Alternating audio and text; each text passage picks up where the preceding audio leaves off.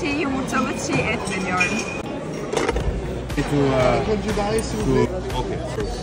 Persil conditions like a mustard. Oil makes the difference. so small finger tastes like when it's raw. Do you do? Do you want to I'm try? good. It tastes good. Tastes good, right? Yeah. Sit. You came to visit or? We have a flight. we have a flight in two hours. Wow.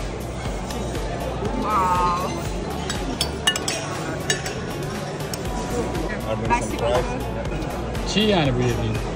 Bildiğin çiğ.